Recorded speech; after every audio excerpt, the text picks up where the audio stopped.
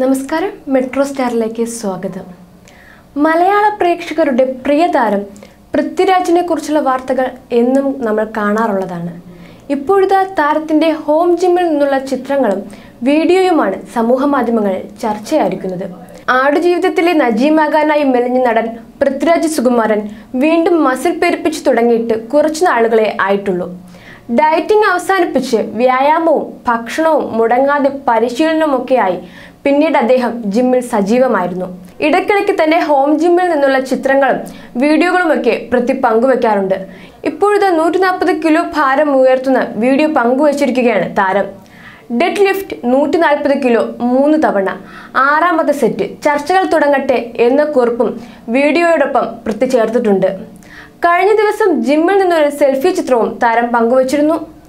മലയാള സിനിമയിൽ ഫിറ്റ്നസിൽ ശ്രദ്ധിക്കുന്ന താരങ്ങളിൽ മുൻനിരയിലുള്ള നടനാണ് പൃഥ്വിരാജ്. ആടുജീവിതം സിനിമയ്ക്കായി ഇരുപത് കിലോയോളം ഭാരം കുറച്ചിരുന്നു. അതിനുശേഷം ലോക്ക്ഡൌൺ കാലത്ത് പൂർവസ്ഥിതിയിലേക്ക് എത്താനായി അദ്ദേഹം ചിട്ടയായ രീതിയിൽ ആഹാര ക്രമീകരണവും വ്യായാമ മുറകളും നടത്തിയിരുന്നു. പൃഥ്വി പങ്കുവച്ച വീഡിയോയ്ക്ക് താഴെ കമന്റുകളുമായി നിരവധി ആരാധകരും എത്തിയിട്ടുണ്ട്. ഹൾക്ക് ഓഫ് മോളിവുഡ് എന്നാണ് ഒരു ആരാധകൻ പൃഥ്വിയെ വിശേഷിപ്പിച്ചിരിക്കുന്നത്. അയ്യപ്പനും കോശിയുമാണ് പൃഥ്വിയുടേതായി ഒടുവിൽ പുറത്തിറങ്ങിയ ചിത്രം. ആടുജീവിതം ജനഗണമന കോഡ് കേസ് കരുതി ഭ്രമം തുടങ്ങിയവയാണ് പൃഥ്വിയുടേതായി പുറത്തിറങ്ങാനിരിക്കുന്ന സിനിമകൾ. ലൂസിഫറിന് ശേഷം പൃഥ്വി സംവിധാനം ചെയ്യുന്ന എമ്പുരാൻ ചിത്രീകരണം ഈ വർഷം അവസാനത്തോടെ ആരംഭിക്കാനിരിക്കുകയാണ്.